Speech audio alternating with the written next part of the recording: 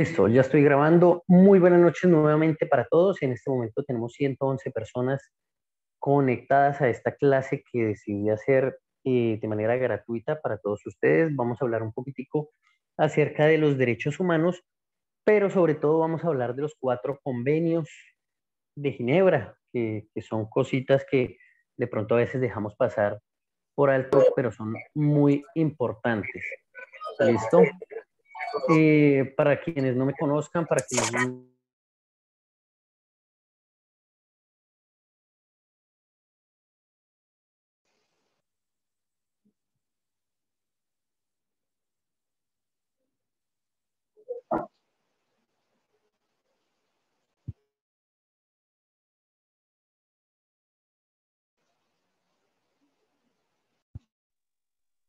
Hola, ¿ahí me escuchan? Listo, les decía que para quienes no me conozcan, mi nombre es Fernando Buitrago, yo soy su intendente retirado.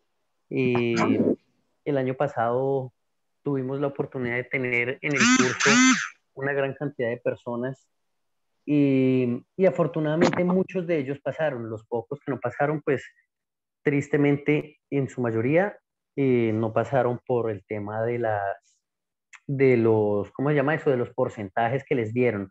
Algunos otros porque no les alcanzó, pero otros fue porque tuvieron buen puntaje, pero el porcentaje no fue suficiente. La idea es que este año pues estemos mucho mejor preparados que el año pasado y que pasen muchísimas más personas ese concurso.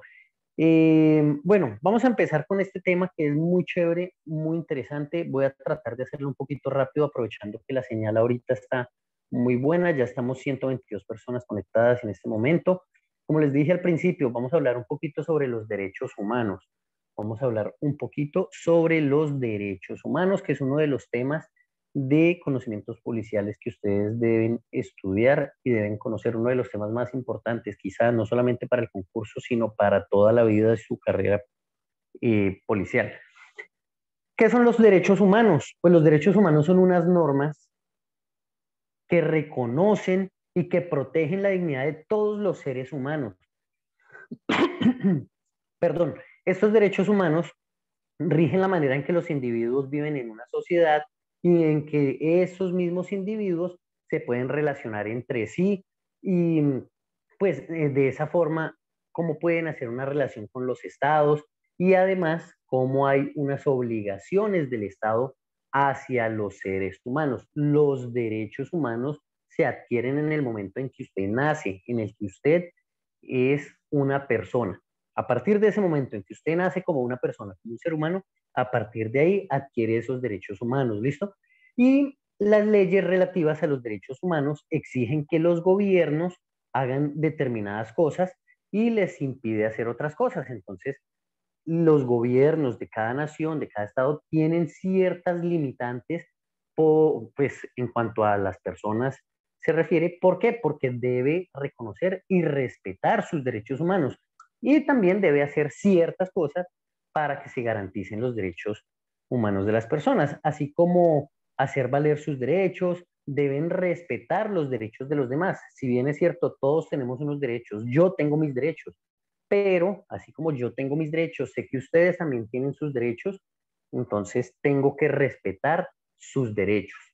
Todos debemos respetar los derechos de los demás, no podemos violar los derechos de las otras personas. Ningún gobierno, ningún grupo, ninguna persona tiene derecho a llevar a cabo ningún tipo de acto que vulnere los derechos de los demás. Nadie puede hacer ninguna actividad que vulnere los derechos de los demás. Por favor, no rayen la pantalla. La clase de kinder es mañana en la mañana. Ahorita estamos en clase de subintendentes. Listo. Esos son los derechos humanos. Entonces son unas normas, como les decía, que reconocen esa dignidad de los seres humanos. Permítanme un segundo, borro eso que pintaron ahí. Listo. Listo. Ahora ¿Qué es eso del derecho internacional humanitario? El DIH, el DIH, Derecho Internacional Humanitario. El derecho internacional humanitario es una rama del derecho internacional y esa rama del derecho internacional está destinada a limitar y a evitar el sufrimiento humano en tiempos de conflicto armado. Es decir, que cuando hay un conflicto armado, se va a aplicar el derecho internacional humanitario, que como lo decía, la idea de ese derecho internacional humanitario es limitar el sufrimiento o evitar el sufrimiento de las personas que están involucradas en ese conflicto armado.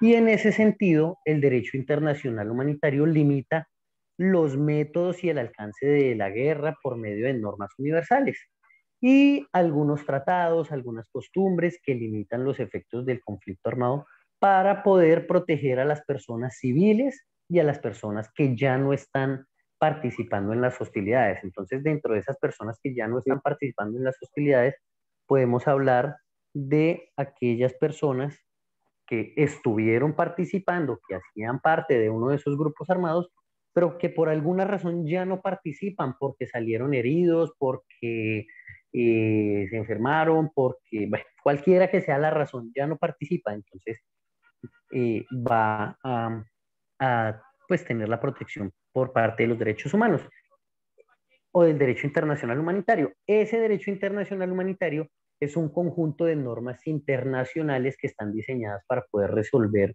unos problemas humanitarios que son derivados de los conflictos armados internacionales, o sea, conflictos entre estados, entre países, o también que sean conflictos que no sean o que no tengan carácter internacional. Entonces puede ser entre un actor estatal y entre un actor no estatal o entre dos o más actores que se pueden presentar dentro de un conflicto. Y este derecho internacional humanitario también es conocido como el derecho aplicable a los conflictos armados o a la guerra. Y el derecho internacional humanitario busca o pretende eh, pues hacer ciertas cosas. ¿Cuáles son esas cosas que pretende hacer ese derecho internacional humanitario? La primera de ellas es proteger a las personas que no participan, como les decía ahorita, o que han dejado de participar en las hostilidades, es decir, los civiles, los combatientes enfermos, los combatientes heridos, los náufragos o las personas que han sido capturadas. Em, asimismo, tiene por objeto regular los medios y los métodos de guerra que se utilizan entre las partes que están en conflicto. Entonces, ese derecho internacional humanitario lo que busca es regular y evitar que se, primero que se violen los derechos humanos de las personas, de los combatientes, de los no combatientes, de los civiles, y segundo, regular los métodos y los medios que se están utilizando para la guerra. ¿Vale? Permítame, yo quito aquí una cosita para que no puedan escribir porque se nos colaron unos chicos que están rayando. Listo, vale. Ahora, ¿qué más busca el derecho internacional humanitario? Eh, bueno, los principales instrumentos del derecho internacional humanitario son los cuatro convenios de Ginebra de 1949. Ahorita vamos a hablar de ellos un poquito. Y unos protocolos adicionales que son de 1977 y otros varios convenios que restringen o que prohíben el uso de determinadas armas. Y, ah, bueno, también el Tratado de Prohibición de Minas, y una convención sobre ciertas armas convencionales y sus protocolos. Entonces, vamos a ver más adelante un poquito sobre qué son esos convenios, que es como el objetivo principal de esta clase, hablar un poquito de los convenios, porque muchas veces hemos escuchado hablar de los convenios de Ginebra, pero no sabemos a ciencia cierta qué son esos famosísimos convenios de Ginebra y sus protocolos. Entonces aquí la idea mía es pues que ustedes tengan un poco de conocimiento, que por lo menos entiendan de qué estamos hablando cuando decimos los convenios de Ginebra. ¿Listo? ¿Qué son los convenios de Ginebra?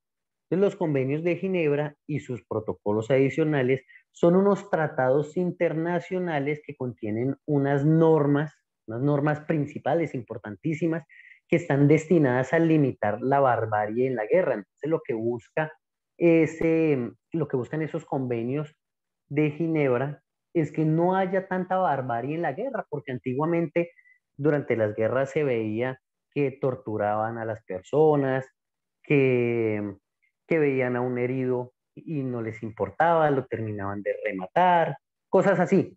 Estos convenios de Ginebra buscan limitar eso, buscan que ya no pase eso, sino al contrario, que haya un poco más de humanidad en las personas. Entonces, estos convenios protegen a las personas que no participan en las hostilidades. ¿Cuáles son esas personas que no participan en las hostilidades? Pueden estar los civiles, puede estar el personal sanitario, pueden estar los miembros de las organizaciones humanitarias, pueden estar eh, pues toda la parte médica, el personal de la salud, ¿vale? Bueno, em, y también, pues a los que ya no pueden seguir participando en los combates, como les decía ahorita, pueden ser los heridos, pueden ser los enfermos, pueden ser los náufragos, los prisioneros de guerra. Esas personas ya no participan dentro de su, dentro de esa guerra, entonces esos convenios buscan protegerlos. Estos convenios de Ginebra y esos protocolos adicionales son como la piedra angular del derecho internacional humanitario, es decir, esos protocolos son la parte más importante del derecho internacional humanitario. Eh, es decir, que este es, este es el conjunto de normas jurídicas que regulan las formas en que se pueden librar los conflictos armados y que intentan limitar los derechos de estos. Entonces, por medio de estos derechos, de estos convenios, vamos a encontrar eh, básicamente como, como hacía grandes rasgos qué se puede y qué no se puede hacer dentro de un conflicto armado. Básicamente eso es lo que nos dice qué se puede y qué no se puede hacer dentro de un conflicto armado. Estos derechos, o perdón, estos convenios protegen especialmente, como les decía ahorita, las personas que no participan o los que ya no pueden participar. Y em, los convenios y sus protocolos establecen que se deben tomar unas medidas para prevenir o para poner fin a cualquier infracción de dichos instrumentos. Entonces, además de que dice que no se pueden hacer ciertas cosas, también se toman unas medidas para poner fin a, esas, esas torturas o a esas barbaries, mejor, a esas barbaries que se venían presentando. Contienen unas normas muy estrictas en relación con las llamadas infracciones graves y se debe buscar enjuiciar o extraditar a los autores de, de infracciones graves, sea cual sea su nacionalidad. Entonces, cuando una persona, un, un participante de esas guerras comete alguna violación a ese derecho internacional humanitario o a, esa, a esos convenios, van a ser juzgados, se les va a poner una, eh, se les va a enjuiciar, se les va a enjuiciar pues por haber violado el derecho internacional humanitario. Entonces es muy importante que conozcamos eh, qué se puede hacer, qué no se puede hacer, qué es lo que prohíbe el derecho internacional humanitario, que ustedes saben que hay ciertas, eh, ciertos armamentos, el tema de la tortura, bueno, eso ya lo vamos a ir viendo pasito a pasito. Entonces, como ustedes saben, existen cuatro convenios, existen cuatro convenios. El primer convenio, importante, no, es que todos estos convenios son muy importantes. El primer convenio de Ginebra es el que protege durante la guerra, durante la guerra, es importante tener eso claro, a los heridos y a los enfermos de las Fuerzas Armadas que están en campaña. Es decir, que este convenio es el que protege a esos combatientes que cayeron heridos o que están enfermos. Eh, enfermos. Este convenio es, la, es una versión actualizada de un convenio de Ginebra sobre los combatientes heridos y enfermos que existió antes, posterior a los textos adaptados en 1864, 1906 y 1929. Este convenio, este convenio consta de 64 artículos. Por supuesto que aquí no vamos a ver esos 64 artículos porque si no nos da la medianoche. Solamente vamos a ver un análisis global de qué es y para qué sirve y qué es lo que busca ese convenio. ¿Vale? Entonces, para, para conocimiento general, este convenio tiene 64 artículos y esos 64 artículos establecen qué es lo que se debe, em, qué es lo que se debe hacer o, cómo es la, la, atención que se le debe prestar y la protección que se le debe prestar a los heridos y a los enfermos. Pero además de eso, también al personal médico y al personal religioso, al personal médico y al personal religioso, a las unidades médicas, al transporte médico, todos esos merecen una atención especial y este primer convenio es el que se encarga pues de proteger eso, que se cuide a los heridos, a los enfermos, al personal médico, al personal religioso, a las unidades médicas, al transporte médico. Este convenio también reconoce los emblemas distintivos. Entonces, ¿cuáles son esos emblemas distintivos? Podemos hablar, por ejemplo, del de la Cruz Roja, la Media Luna Roja, eh, no sé ustedes de cuál otro se acuerdan. ¿Quién se acuerda de otro emblema distintivo de, de, los protectores de los derechos humanos? Cristal rojo, rojo. Correcto, cristal rojo. Media Luna Roja, sí. El emblema de la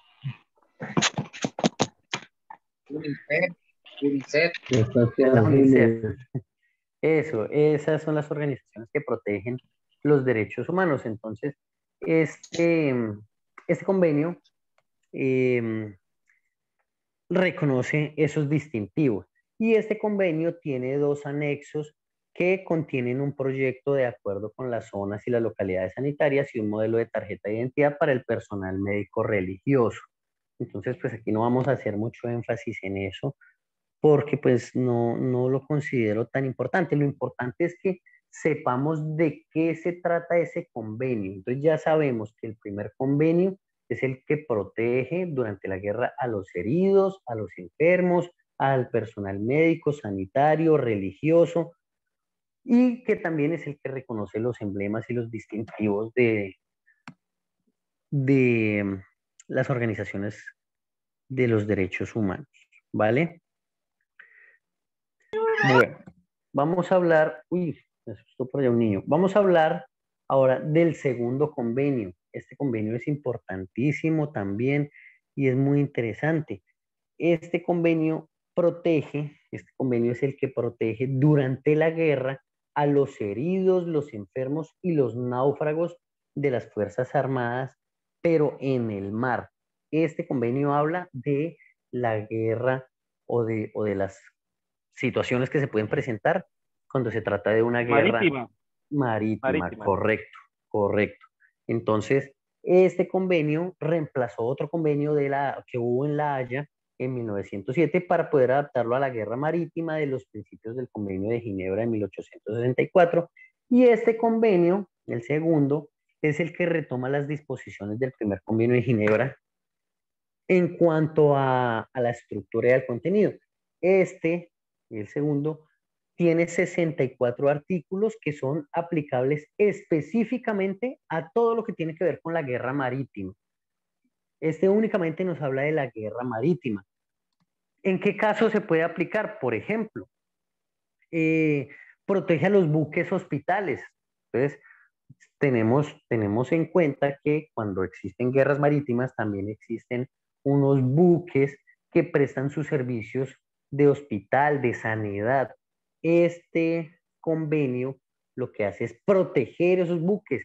Esos buques o esos barcos o esas naves van a ser pues intocables. ¿Por qué? Porque están ahí para prestar un servicio de derechos humanos para todos. Acordémonos que los derechos humanos son para todos y deben ser, em, se me escapa ahorita la palabra, eh, neutrales, neutrales. No puede ir ni de un lado ni del otro, que todos los, los seres humanos tenemos los mismos derechos. ¿Vale? Y este convenio tiene un anexo que contiene un modelo de tarjeta de identidad para el personal médico eh, y el personal religioso. Entonces, ese personal médico y ese personal religioso que participe o que haga las veces eh, dentro de una guerra, pues se va a poder identificar con una tarjeta, pero como les digo, tampoco vamos a hacer mucho énfasis en esto.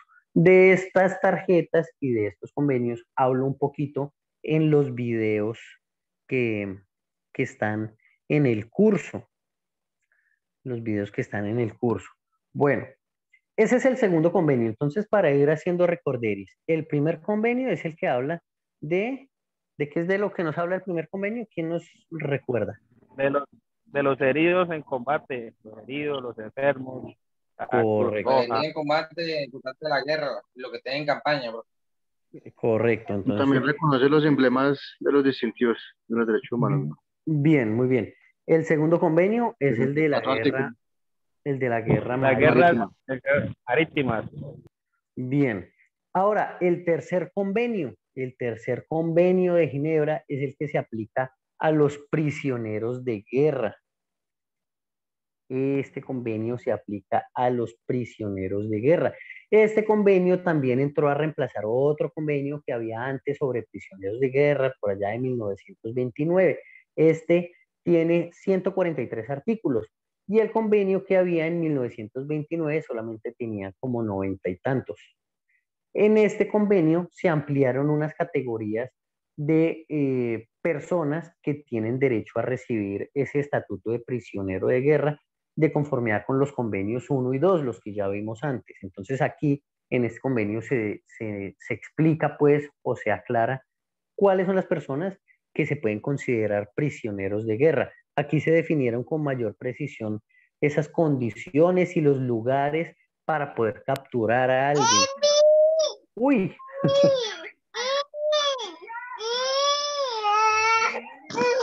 No le peguen al niño.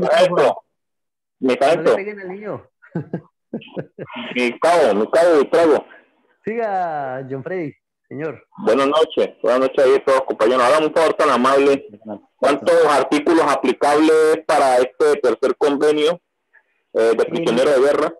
En este son 143, 143 artículos. En este tercer convenio. Muchísimas gracias, mi, mi cabo. Dios les bendiga. Vale, John, con gusto. Listo. Entonces, como les decía, muchachos, en este convenio, eh, pues se hace el énfasis en, en cuáles son las personas que se pueden determinar prisioneros de guerra. En este se definieron, como les decía ahorita, con una precisión muy grande cuáles son las condiciones y los lugares para poder capturar a alguien. Se precisaron sobre todo esas cuestiones relativas al trabajo de los prisioneros de guerra, los recursos financieros, la asistencia que tienen derecho a recibir, los procesos judiciales que se les puede llevar en su contra. Entonces, todas esas cosas que tienen que ver con los prisioneros de guerra se aplica o, o, lo encontramos mejor en este tercer convenio. Este convenio, el tercero, es el que establece el principio de que los prisioneros de guerra deben ser liberados y repatriados sin demora cuando se acaben las hostilidades. Es decir, estamos en una guerra, vamos a, poner el ejemplo fácil. Estamos en una guerra Colombia-Venezuela. Entonces resulta que en Venezuela tienen a 15 soldados colombianos capturados como prisioneros de guerra. Hoy se acabó esa guerra, hoy se acabó esa guerra. Inmediatamente Venezuela debe liberar y debe repatriar a esos prisioneros de guerra, esos 15 soldados que tienen como prisioneros de guerra. Apenas se acabe la guerra, inmediatamente, sin demora, se acaba la guerra, los deben liberar y los deben repatriar. ¿Vale? Entonces, esa es una parte bien importante dentro de este tercer convenio, que apenas se acaba una guerra, unas hostilidades, se deben liberar a los prisioneros de guerra y se deben eh, repatriar, enviar a su país de origen. Eh, este tiene cinco anexos, este convenio tiene cinco anexos y esos anexos contienen unos modelos de acuerdos también de tarjetas de identidad y cosas que pues eh, identifican pues a los, a los prisioneros o quienes hayan sido prisioneros de guerra. Entonces, ese es el tercero de los convenios. Y el cuarto convenio, el cuarto convenio es el que protege a las personas civiles, incluso en los territorios ocupados. ¿Qué quiere decir eso? A ver, los convenios de Ginebra que se adoptaron antes de 1949 se referían únicamente a los combatientes y no a las personas civiles. Antes de estos convenios únicamente se protegían o únicamente se hablaba de los combatientes. Únicamente se hablaba de los combatientes, se hacía la protección de ellos, pero no se hacía protección alguna de los civiles. Entonces, a partir de aquí ya se empezó a, a proteger a las personas civiles, a quienes no participan dentro de las hostilidades. Entonces, los hechos acaecidos durante la Segunda Guerra Mundial, todo lo que pasó en esa Segunda Guerra Mundial, puso en evidencia esas consecuencias tan desastrosas que tuvo la ausencia de un convenio que protegiera a los civiles en tiempos de guerra. ¿Por qué? Porque cuando hubo esa Segunda Guerra Mundial, muchísimas personas civiles se vieron afectadas porque fueron heridas, porque los mataron, porque les destruyeron sus propiedades, sus casas, sus, lo poco que tenían o lo mucho.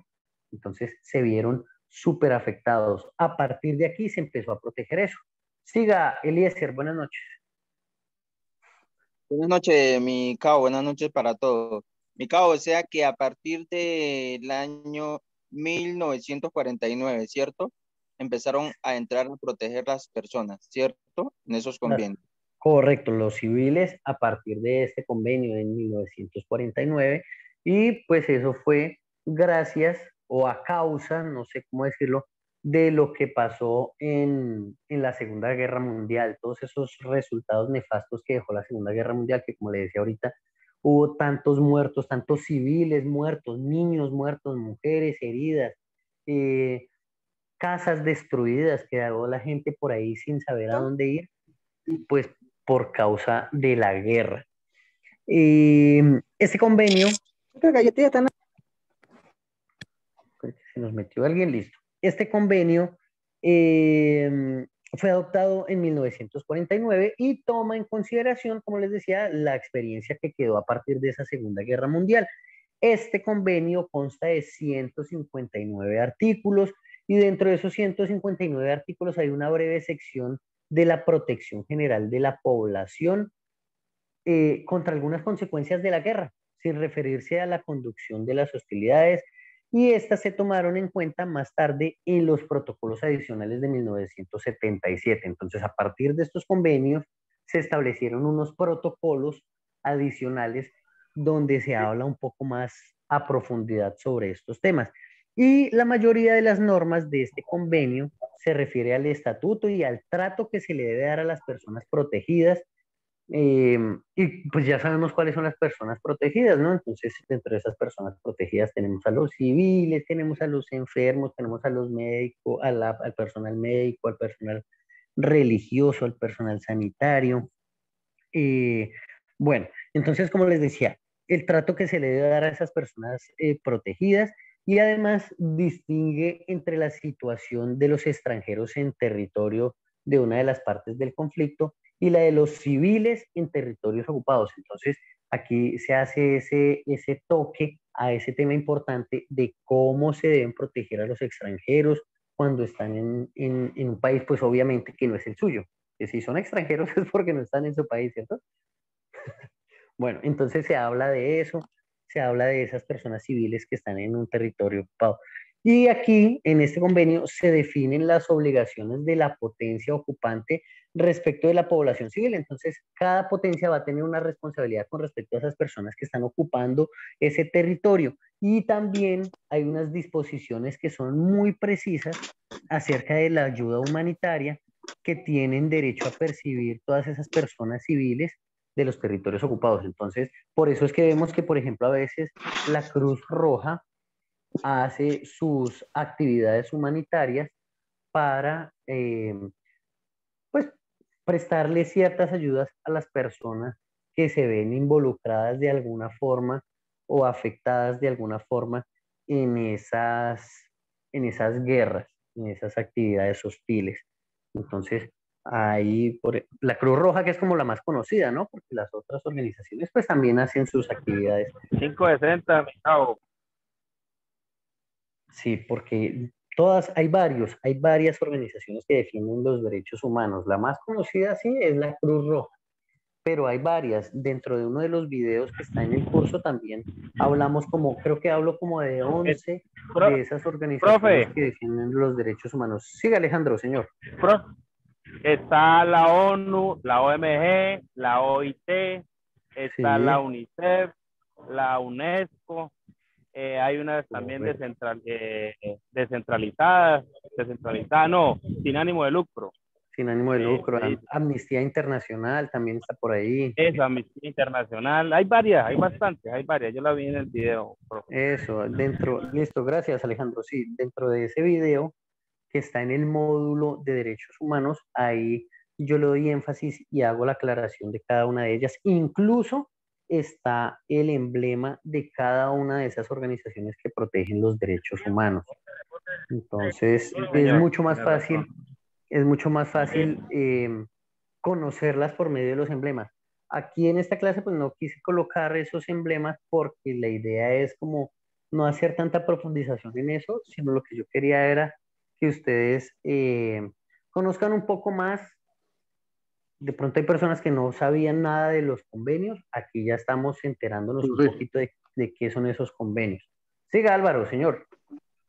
Qué pena, me regala la, fecha de cuando hicieron este acuerdo, los convenios, profe, en París. Eso fue en el año 1949. 1940. 10 de diciembre. París, 10 de diciembre de 1949. Bueno.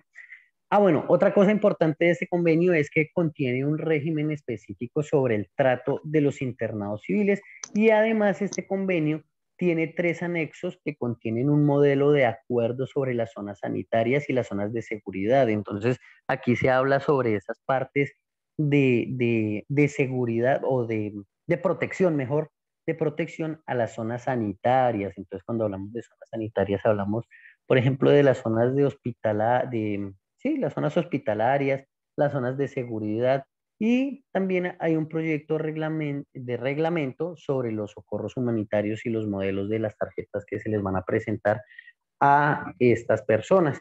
Entonces, esos son los cuatro convenios, muchachos, importantes. Quise traer esta clase para compartirla con ustedes porque me interesa que todos ustedes tengan mucha claridad de esto, de qué son los convenios, cuáles son los convenios, para qué sirve cada uno de esos convenios o para qué se los inventaron. Entonces, a ver, hagamos la, el recorderis. ¿De qué es el convenio número uno? El convenio número uno a los heridos en habla a los, heridos, a los heridos, a los enfermos y a la, Listo. A la Cruz Roja y demás. Vale. Protección de los heridos. El convenio 2. Heridos, náufragos. Náufragos. mar. Marítimos. Es el que se guerra marítima. a la guerra marítima. El convenio es el que se aplica a la guerra marítima. El convenio 3. Prisioneros de guerra. Prisioneros de guerra. Prisioneros de guerra. Prisioneros de guerra. El convenio número 4. Con las personas civiles. A las personas civiles. Bien, las personas Consta 159 artículos. Listo. Entonces, importante que logremos identificar o que nos, nos acordemos de eso, de eso, con que sepamos eso, de qué es cada convenio, para qué se inventaron cada convenio, para qué metieron ese cuento de los convenios. Con eso vamos a tener herramientas suficientes para salir de muchísimas dudas que se nos pueden presentar en el concurso, muchachos. Importantísimo que pensemos siempre en el concurso. ¿Qué nos puede ayudar a salir victoriosos en el concurso. Ese es el objetivo que tenemos, ganar, pasar el concurso. ¿Listo? Entonces, cada vez que ustedes lean algo, acuérdense del concurso. Siempre que lean algo, acuérdense del concurso. Bueno, dentro de estos cuatro convenios hay una cosa muy importante, una cosa. Bueno, sí, hay algo muy importante que es el artículo 3 común. El artículo 3 común. ¿Qué es ese artículo 3 común? El artículo 3 común a los cuatro convenios de Ginebra quiere decir, no que todo quiere decir, pues que está en los cuatro convenios. Ese artículo 3 está en los cuatro convenios. ¿Y por qué es tan importante? Porque este, este artículo 3 común marcó un avance muy importante porque en este se abarcan los conflictos armados no internacionales. Acordémonos que antes solamente se hablaba de los conflictos internacionales. Aquí ya se abarca un poco sobre los conflictos armados no internacionales que nunca antes habían sido incluidos en los tratados de, todos estos temas de las guerras. Estos conflictos pueden ser de diversos tipos. Estos conflictos pueden ser de diversos tipos. Puede tratarse, por ejemplo, de guerras civiles. Ojo, estoy hablando de conflictos no internacionales, ¿listo? Este artículo 3 común es el que nos habla o el que incluye los conflictos no internacionales. ¿Cómo pueden ser esos conflictos no internacionales? Entonces, pueden, de Colombia. Por ejemplo, entonces pueden ser guerras civiles, pueden ser conflictos armados internos como el de Colombia y además unos que se extienden a otros estados, que está pasando aquí, que ya se están extendiendo a Venezuela, por ejemplo, por allá como que por Ecuador también ha pasado cosas, o conflictos Golpes de internos. Estado. Eso, o conflictos internos. Que quieren hacer los Los golpes de. Estado también van ahí, profe. En México, en México, profe. Claro, los golpes de Estado. También van los golpes de Estado. o conflictos Claro. internos en los que haya terceros estados o haya una fuerza, una fuerza mm, internacional que esté interviniendo junto con el gobierno. Entonces, digamos que, eh, por ejemplo, aquí en Colombia, digamos que aquí se está el, el conflicto interno Estado eh, FARC, digamos, Estado FARC. Entonces llega un eh, interviniente internacional, entonces digamos, no sé, otro país, vamos a poner un país por allá, Estados Unidos. Estados Bueno, Unidos tiene digamos. que ser apoyado. eso, entonces llega a Estados Unidos a apoyar el Estado colombiano para poder combatir la guerra. Entonces ahí se habla en ese artículo 3 común sobre esa situación. Eh, este artículo 3 común establece unas normas fundamentales que no se pueden derogar. Es como una clase de mini convenio. Este artículo 3 común es como un convenio chiquitico dentro de los cuatro convenios, porque en este convenio se, se establecen o se contienen todas las normas que son esenciales de los convenios de Ginebra, pero en un formato más pequeño, más condensado, y las hace aplicable a los conflictos que no tienen carácter internacional.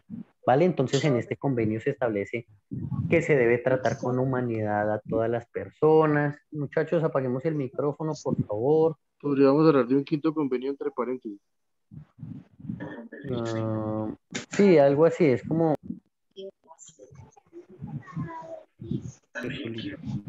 Ver, muchachos, mantengamos por favor los micrófonos apagados. Listo. Sí, lo que decía el compañero, es como si fuera un quinto convenio chiquitico, es un convenio chiquitico, ese artículo 3 común. Entonces, como les decía, en este artículo se establece que, pues, que se, cómo se debe tratar o que se debe tratar mejor con humanidad a todas las personas que no participan en las hostilidades o que caigan en poder del adversario. Perdón. Eh, sin distinción alguna de índole desfavorable. En este artículo se prohíbe eh, los atentados contra la vida, las mutilaciones, la toma de rehenes, la tortura, sí señor, los tratos humillantes, crueles, degradantes, y dispone que eh, se deben ofrecer todas las garantías judiciales. Entonces, acordémonos que antes veíamos que atrapaban a una persona y la torturaban para sacarle información, o atrapaban a una persona y, y la secuestraban y también la ponían a aguantar hambre. Todo ese tipo de actos inhumanos se prohíben por medio de este artículo. Y Derecho internacional humanitario. Correcto. Todo esto hace parte de ese derecho internacional humanitario. Entonces aquí también se establece que se debe recoger y se debe asistir a los heridos y a los enfermos. Pero acordémonos que en este artículo 3 común hablamos específicamente de conflictos no internacionales. Eh, aquí se le concede al CICR. ¿Qué es el CICR? ¿Quién se acuerda? ¿Qué es el CICR? Comité Internacional de la Cruz Roja, profe. Cruz Roja, Correcto. sí, Comité El Internacional de Cruz CICR, Roja. Bien, Comité Internacional de la Cruz Roja. Entonces, aquí eh, se le concede al CICR, a la Cruz Roja, el derecho a ofrecer sus servicios a las partes en conflictos. Entonces, en este artículo 3, le dicen a la Cruz Roja, sí, hágale, usted sí puede participar, puede prestarle sus servicios a las partes que están en conflicto. Obviamente, la Cruz Roja debe ser neutral, no puede ir ni de un bando ni del otro. Si hay un herido, pongámoslo nuevamente en el caso colombiano, si hay un herido del ejército, la Cruz Roja va y le presta su ayuda. Si hay un herido de las FARC, la Cruz Roja va y le presta su ayuda. Es neutral, no importa de qué bando sea, es neutral. Siga Héctor. Eh, profe, buenas noches. Una pregunta. Eh, en el caso cuando liberaron esos secuestrados en esos helicópteros de la Cruz Roja, ahí ellos no, no, o sea, ¿qué pasa ahí con ellos? Eso no es una falta. Ellos no, ellos no eran de la Cruz Roja, ¿no? Eso era montaje. Era, Exacto, sí, utilizaron los símbolos de la Cruz Roja para... ese era un montaje y hubo como una suplantación de, de esos distintivos de la Cruz Roja. Sin embargo, tengo entendido tengo entendido, puede que me esté equivocando, por favor no me crean, averigüenlo bien. Tengo entendido que como no hubo violencia, como no hubo disparos, como no hubo nada de eso, entonces finalmente pues quedó así y no pasó nada. Tengo entendido eso, pero sí, claro, en principio se puede hablar de una suplantación porque se pintaron helicópteros y hubo chalecos y todo ese tema de la Cruz Roja. Siga, Santiago. Como aquí en Colombia pasa de todo y no, no pasa nada, entonces por lo menos eso. Sí, Estamos en Colombia. Bueno, estamos en Chichombia. Profe. Señor, siga, Santiago. ¿quién Profe. Eh, eh, frente, frente a ese caso, eh, usted tiene toda la razón. Yo leí ya parte de, del derecho internacional humanitario y hay un artículo, no lo tengo presente, donde habla de que no se podrán utilizar emblemas distintivos de organizaciones internacionales y pues el agravante es ese, que donde hayan muertos, heridos, tortura y eso, pero como en el caso de, de, Colombia, la utilización de estos, pues sí se abrió la investigación, pero como no hubo nada de esos eh, delitos, por decirlo así, pues eh, no, no prosiguió el caso. Ah, bueno, listo, perfecto, vale, gracias.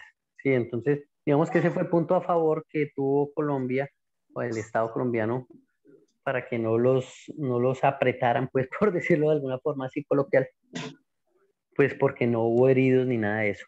Bueno, este, este artículo 3 común también eh, insta a las partes que están en conflicto para poner en vigor Em, mediante unos acuerdos especiales la totalidad o algunas partes de los convenios de Ginebra y además aquí se reconoce que la aplicación de esas normas no afecta al estatuto jurídico de las partes en conflicto. Entonces, se puede aplicar ese artículo 3 común cuando hay un conflicto em, no internacional y no va a pasar nada, ¿vale? Siga eh, Edwin, Edwin Bermúdez.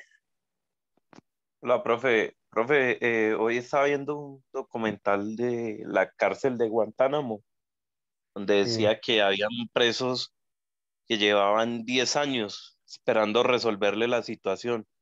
Dicen que es porque no han firmado ninguno de estos acuerdos. Mm, eso, eso también es una situación ahí bien compleja con, con lo de Guantánamo y todo eso.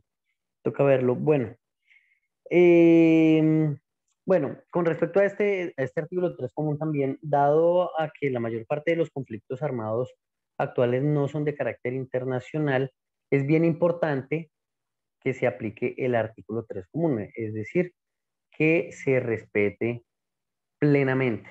Entonces, como en el mundo ahorita no hay tantas guerras internacionales, que sí las hay, sobre todo por allá en, en Asia, ¿cierto? Entonces, eh, creo que en Asia y en África tal vez, como que sobre todo en Asia.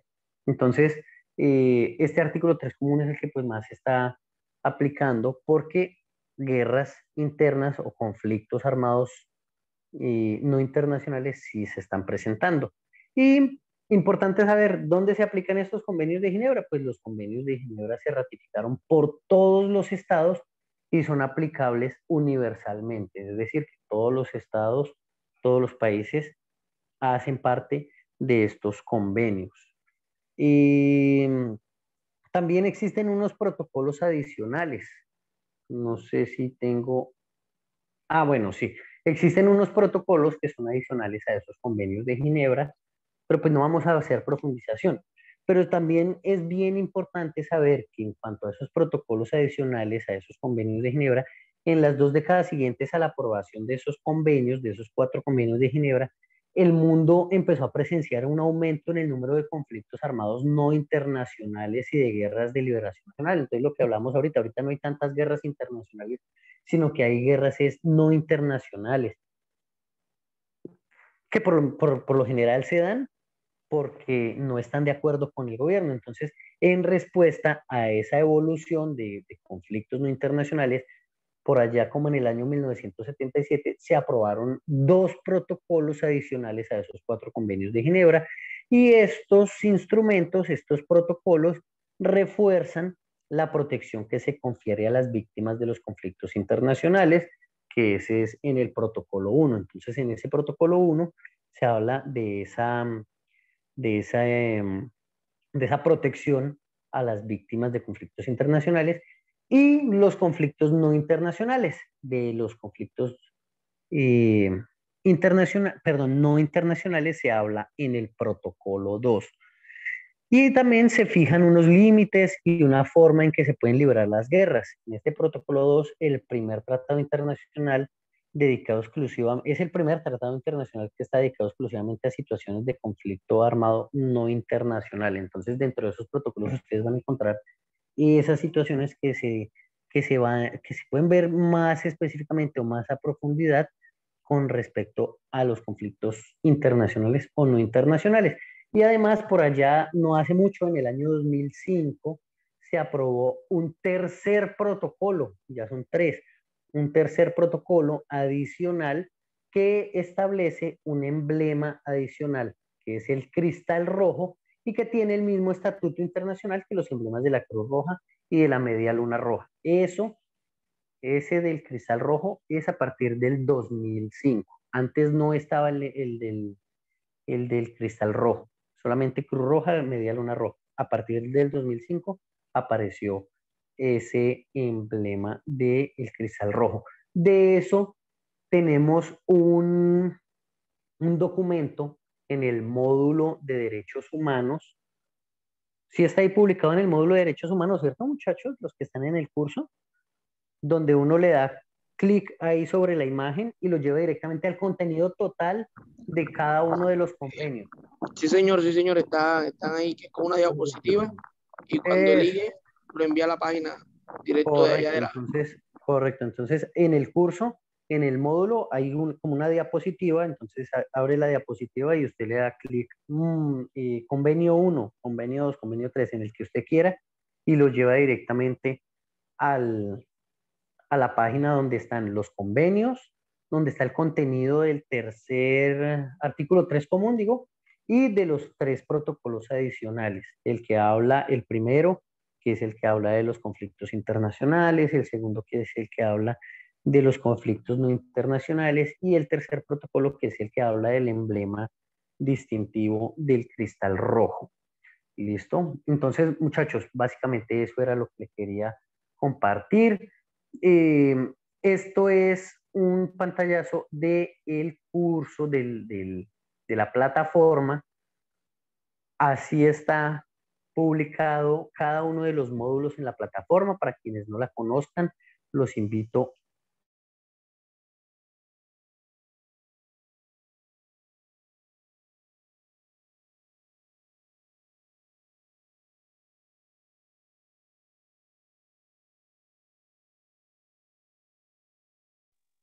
Compañeros, ¿me escuchan?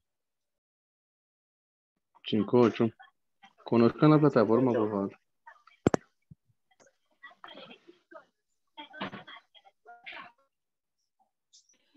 Conozcanla mientras vuelve mi cabo. Para los que no están en el cursito. Profesor. Oiga, yo, yo sé que hay mucha gente que está muy preparada en este, en este curso. ¿Que está qué? ¿Que está qué? Están muy preparados, están muy preparados. La, la, la, clase, sálgase, por favor. Pero de ser ocioso. Que se vio sin micrófono el profe. Pero bueno, ahí conozcan la plataforma, escríbanse, llámenlo, tomen fotos, es muy buen curso. Dios los bendiga. La gente a la que enviaron está en problemas. Atrapada en una cueva donde Altamiró a su Muchos de los que estamos en este curso, el año pasado estuvimos con el profe. Lastimosamente, por el porcentaje no nos alcanzó, pero créanme que es bien interesante, se lo recomiendo.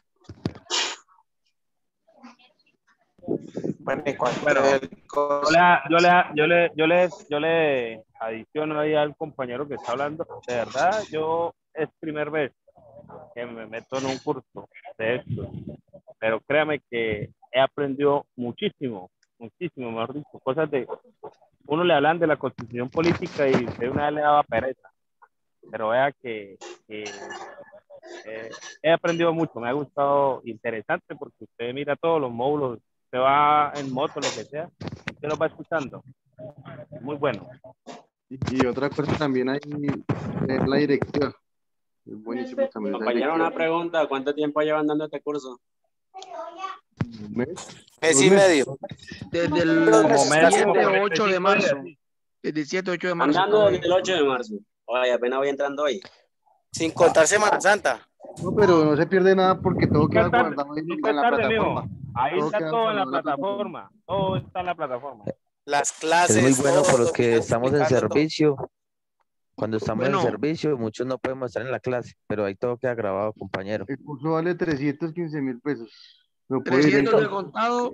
Muchachos, ¿ahí me y están otras cosas escuchando? de, de 105. Sí, señor, profe. le Ah, escuchamos. listo.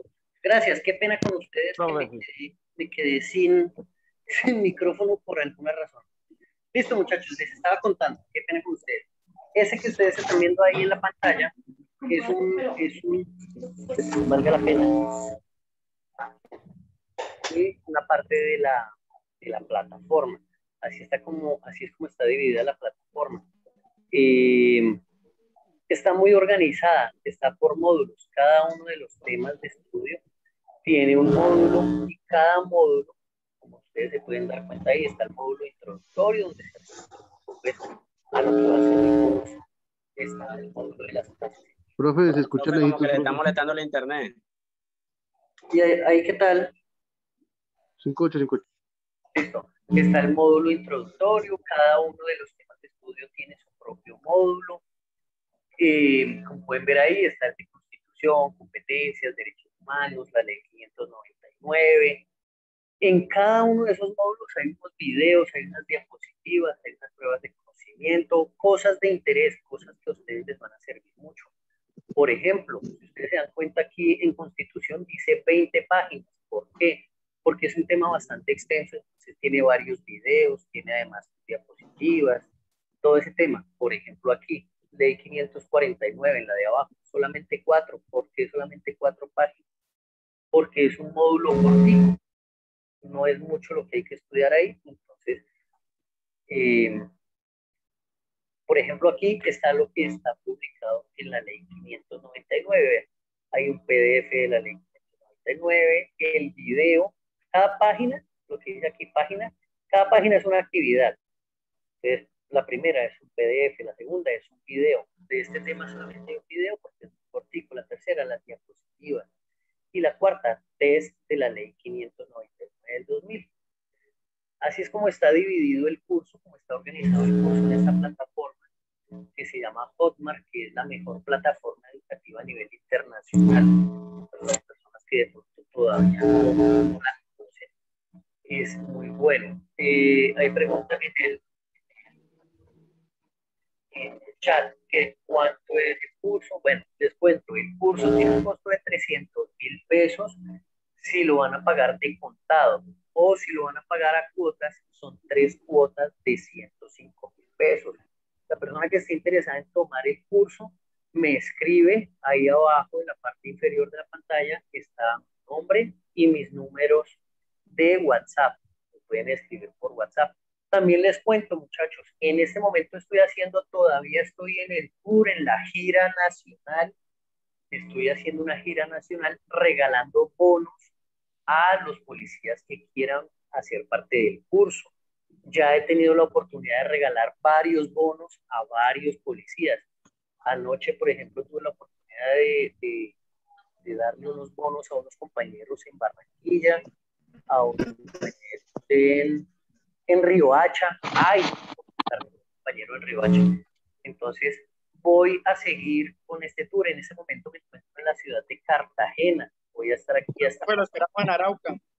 Entonces, uy, Arauca sí me queda como complicado. ¿Hasta cuándo está aquí en Cartagena, profe? ¿Hasta cuándo está aquí en Cartagena? Villavicencio. Sí, Y no vaya a Dupar y no avisó, mi profe. Vino yo no avisé, avisó. yo avisé, yo avisé por, el, por los grupos que Ah, también le roto Arauca. en Valledupar también regalé un par de bonos. Arauca también es Ah, Colombia. Cúcuta, eh, Cúcuta, profe, cualquier Cúcuta. Pasó por, Por pasó por Cúcuta, aquí y no ya avisó, pasé vale. por Cúcuta, regalé Profe, como 700. buenas ¿Cuánto, noches. ¿Cuánto pasó por Cúcuta? Listo, muchachos. Eh, entonces, ¿quién tiene preguntas? Gustavo, Gustavo. Profe, ¿hasta cuándo está en Cartagena? ¿Hasta cuándo? Pasado por la mañana. No se le entendió, profe, qué pena. Pasado mañana. Pasado mañana, el lunes, el lunes por la mañana me voy. Por ahí a mediodía. Será el martes en la mañana, porque mañana ya es lunes. Eso, eso, eso. El martes. El martes por ahí a mediodía estoy saliendo. Yo creo que voy hacia Coveñas. El martes. Voy por ese lado. Entonces, para los que estén por ahí, el que me vea, estoy andando en una motico negra con un banderín que tiene el, el logotipo de el curso, que es este que ustedes están viendo aquí en la parte eh, superior derecha, donde está como un librito y una FB, ese logotipo lo tiene el banderín que está en mi motico. Entonces, el que me vea andando por ahí me hace el pare y participa por los bonos. Y el que quiera eh, se comunica conmigo por medio del WhatsApp para que asegure su cupo. Muchachos, quedan poquitos cupos, quedan poquitos cupos, porque apenas se llene el grupo de WhatsApp, se cierra todo, se cierra todo. Quedan poquitos cupos. Aprovechen los que quieran hacerlo ahorita, también que no hemos avanzado mucho, porque después de que avancemos va a ser más difícil pues que se pongan al día. Ahorita todo lo que hemos visto está en la en el módulo de clases en vivo. Aquí les voy a mostrar el módulo de clases en vivo. Aquí, véanlo, ahí está. El segundo módulo se llama clases en vivo. Hemos visto 23 clases en vivo hasta el momento. Como ustedes seguramente no las vieron, ahí las pueden ver. Cada vez que usted no pueda estar en clase porque tuvo un evento, tuvo un turno, tuvo un apoyo, tuvo una captura y le tocó ir a judicializar, tuvo una cita con la novia, tuvo no sé qué. Ahí todas las clases van a quedar grabadas y quedan mostradas en ese modo. ¿Vale? ¿Quién tiene preguntas, dudas? Profe, sugerencias? profe. Señor, siga. Los que trabajamos en Cartagena, ¿cómo hacemos para participar en el bono? ¿Le, le enviamos la dirección? ¿Llegamos donde usted esté? ¿Cómo es la cosa? Los que estén en Cartagena, escríbanme al número, al 314 que aparece ahí. Escríbanme al, al 314 y por medio del WhatsApp coordinamos a ver dónde nos encontramos y nos vemos mañana por ahí en un momentico para que participen por los bonos. ¿Cómo se pueden ganar los bonos? Son tres preguntitas, tres preguntitas estilo ¿Quién quiere ser millonario? Con unas tarjeticas que yo cargo en un bolsito que llevo en la moto. Saco las tarjetas, usted elige tres, responde, y si responde bien, por cada pregunta que responda bien, son 100 mil pesos en bono. O sea, le puede salir gratis, le puede salir por 200, le puede salir por 100, o si no respondió ninguna bien, pues los 300 mil. Pero todo, hasta ahora todos los que han participado a nivel país de, en la gira que estoy haciendo, todos han ganado, aunque sea una, un bono. He pasado por Bucaramanga, por Cúcuta, por Valledupar, por Río Hacha. Ahorita estoy por Cartagena y pues sus municipios intermedios. Por ahí he estado, muchachos, para que ustedes puedan estar pendientes y, y se comunican conmigo con muchísimo gusto. Las clases son todos los días. Marisol, las clases de lunes a viernes a las 8 de la noche. De lunes a viernes a las 8 de la noche. Sábados, domingos y. Hoy hay clase porque que no me llamó que... estamos en, en una clase pues que quise hacer gratis porque este, este tema es bien importante. Cali, ¿para cuándo? Pues voy, ahora voy de para abajo. Ya arranqué desde Villavicencio, desde Acacias Meta y empecé a subir. Llegué hasta el Cabo de la Vela y ahora me voy a volver la idea de llegar a Ipiales. Vamos a ver cuándo llego y vamos a ver si la motico me responde para llegar hasta por allá. Entonces, mientras que las condiciones se den, pues la idea mía es pasar por Cali, por supuesto, pasar ahorita por Medellín, por Montería, bueno, a Ipiales y después volver hasta Bogotá. ¿Listo, muchachos? Por Manizales también estaré pasando, Marisol. Yo creo que en esta semana, en cualquier momento, estaré por ahí. Listo. Eh, muchachos, fue ¿Y para Armenia también va a pasar o qué, mi cabo? ¿Cómo? Para Armenia también va a pasar. ¿Por dónde? Por Armenia, mi cabo. Cinco Por Armenia, creo que sí, creo que Armenia también está afiliada en- Como les digo, muchachos, la idea mía es llegar hasta, hasta Indiana en Nariz. Pero pues, esperar a ver cómo se comporta la música, cómo se comporta el clima, todos, todos los. Que duerman con nosotros, man. Hay que duerman con nosotros. Los dos muchachos. Preguntas. mañana hay clase de Ah, veeduría, mientras quedan dormidos. Ya, No más preguntas, listo muchachos, entonces que Dios los bendiga, estoy atento. Y suscríbanse al canal de YouTube, Subintendente 2022. En la página de Facebook. Profe, lo que estamos en el curso mañana es la clase de veeduría, ¿cierto? Mañana, sí, los que están en el curso, muchachos, mañana tengan sus canal de pues, vamos a ver, días, para que estemos preparadísimos para ese tema. Por ahí como que con algo de las energías, no he visto el video, pero bueno, es importante. Muchachos, que Dios los bendiga, pórtense muy bien, que los anoten. Profe, una pregunta. ¿Subintendente 2021 o 2022? En YouTube, Subintendentes 2022. En YouTube, Subintendentes 2022. Ok, profe, gracias. En Facebook, Subintendentes 2021. En Facebook, Subintendentes 2021. ¿Vale? Ok, profe, gracias. Me le Dios lo bendiga. Muchachos, con muchísimo Dios gusto. los que los bendiga. bendiga. Chao. Duerman, Los arrullen, se cuidan mucho. Chao. Ah, entonces no la han recibido.